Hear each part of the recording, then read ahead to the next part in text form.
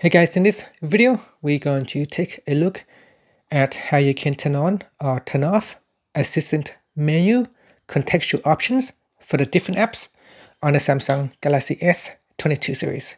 First, tap on the home button to go back to the home screen.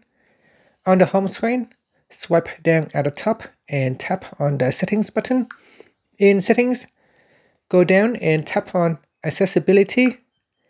Next, go down and tap on interaction and dexterity.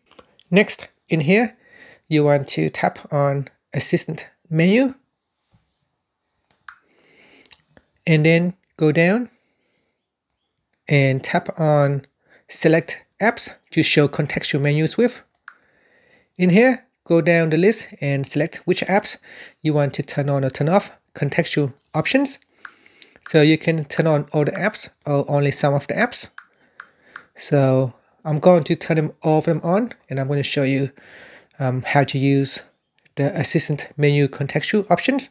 So if I tap on the home key to go back to the home screen, now you can see that if I open up my assistant menu, it will show recent, home, and back key, and then you got screen off, volume, and screenshots.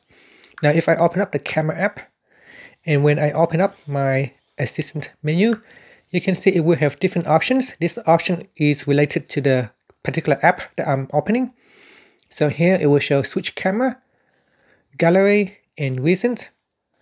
Now if I open up the phone app, then the assistant menu will have a different menu items. And this is called the contextual options uh, for the assistant assistant menu. And that's it.